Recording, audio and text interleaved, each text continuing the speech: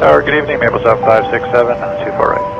Maple South 567, Toronto Tower, the wind 1406 knots, clear to land runway 24 right. Uh, 24 right, Maple South 567.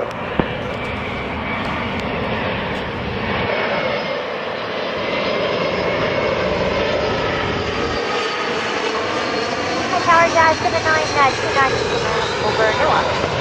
Jazz 7929, Toronto Tower number 2, behind Embraer, short final, wind 1406, clear to land runway 24 right. Okay, clear to land 24 right, Jazz 7929.